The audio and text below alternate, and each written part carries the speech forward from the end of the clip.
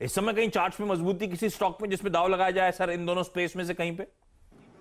देखिए NBFC space में दो ही काउंटर्स है, दो दिग्गज है बजाज फाइनेंस और बजाज फिनसर्व दोनों के चार्ट पैटर्न काफ़ी स्ट्रांग है। अच्छे बेस बिल्डिंग के बाद बजाज फिनसर्व वापस एक बार एक्टिविटी दिलाता नज़र आ रहा है। आज का एटीपी करीबन 9040 के करीब है। जब तक इसके ऊपर है, तब तक मेरा मानना है कि 9200 की तैयारी हो रही है, ऐसा मान के चलना चाहिए। किरण चार्ट से कहते हैं यहाँ पे भी थकावट शुरू हो चुकी है क्या? मुनाफा वसूली का समय आ गया है क्या?